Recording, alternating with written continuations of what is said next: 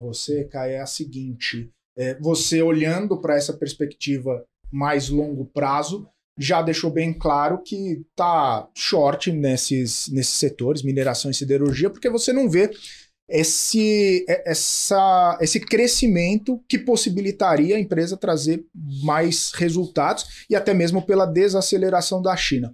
A gente sabe que, é, principalmente quando a gente fala de, de, de, economia e tudo mais, tem toda a, a, a questão do ciclo do mercado e que hoje está ruim, amanhã pode estar tá bom e vai tendo essas mudanças. É, até mesmo, hoje a gente está num, num cenário bem é, problemático lá na China, com a questão de hipoteca, com a questão da crise na construção, é, com a questão também de eleição lá na China, que, embora seja um partido único ali, a gente sabe que eleição acaba movimentando o, os uhum. ânimos e as expectativas. Mas olhando para frente, China já sinalizou que tem é, um pacote ali que pode colocar mais de 40 bilhões de dólares para estimular, inclusive. A China não deixou é, a, a, Evergrande quebrar, porque uhum. traria consequências. Tem os pacotes do Biden lá de infraestrutura e tudo mais. Isso, nem isso é, acaba trazendo um certo otimismo, nem isso acaba trazendo, de repente, até um, uma certa, um certo pensamento que lá na frente pode ter alguma coisa boa aí no, nesse setor? Olha, vou, vou responder por dois ângulos. Assim. O primeiro é que são ciclos, como você mesmo uhum. disse. Então, sem dúvida alguma, eu não acho que vá ladeira abaixo para sempre. Tá. Retoma em algum momento. Mas você tem que entender que a gente está justamente num momento de. Eu acho que tem espaço para cair ainda. Tá? Ah, você olha, o cobre foi de 10 mil dólares para 8 mil dólares a, tonel a, a, a, a tonelada. O, o, minério de ferro caiu já um pouco. Mas a gente, eu acho, a questão, quando a gente olha o ciclo, uhum. basicamente, o ciclo vai subir e uhum. descer.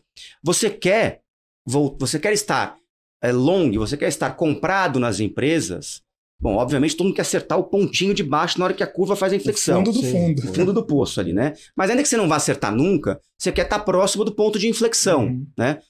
Preferencialmente já na subida, né? Para você não pegar nem a descida, no começo da subida.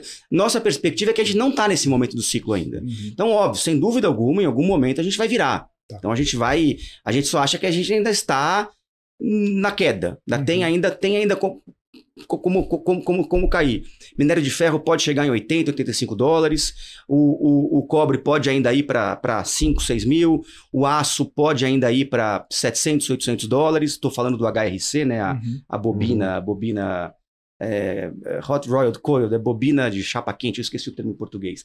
Mas enfim, as commodities em geral, a gente vê ainda uma perspectiva negativa. Esse é um primeiro ângulo. O segundo ângulo, que é o seguinte, ainda que sejam ciclos, você tem ao longo da, da história certas mudanças estruturais positivas ou negativas. Uhum. O problema do housing na China, né, da, do, do, do, do, setor urbano, não acho que é algo que vai se recuperar novamente com a mesma intensidade que foi no passado. Uhum. Então a gente pode estar tá olhando, eventualmente, como próximos.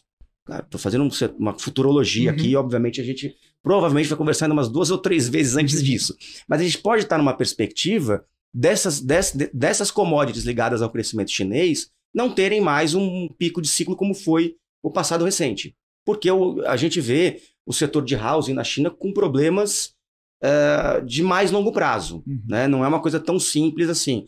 Uh, quando você olha as, as, perspectivas de crescimento da economia chinesa, que foi na casa de, de double, double digits, né? Uhum. 10, 12%, e agora a gente está olhando para para um single digit, 4, 5, 6%, boa parte dessa queda está ligada à desaceleração especificamente do setor de housing na China. Uhum. Então a gente pode ver uma mudança, tem um limite, né? Aquilo ah. que a gente falou da urbanização, dos novos bairros, é, existiu um processo de urbanização muito grande, que era a migração da população rural para a população urbana. Né? Uhum. Né?